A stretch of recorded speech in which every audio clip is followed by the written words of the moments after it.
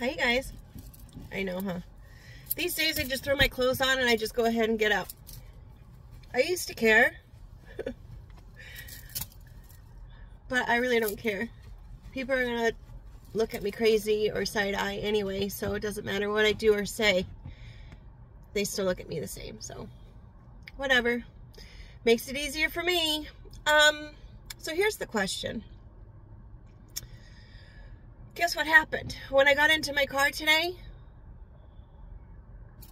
it was all rained out.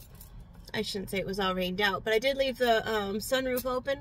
So the question is, why don't they make sunroofs to just close when you turn the car off? Why not? I mean, I'm sure that if it did that, I would probably be irritated if I wanted it to stay open when I was getting out of the car for some reason. But maybe it's just user error. It happens. Perhaps it's user error and there's a switch somewhere where it can close automatically.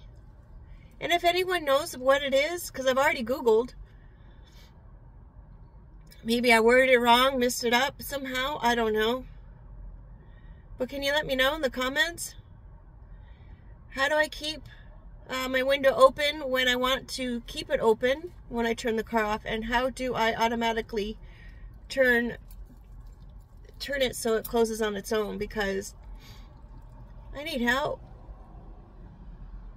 I can't think of everything all the time. I'm already thinking other things, right? Thanks for being here. I'm looking forward to the to the answer. Take care.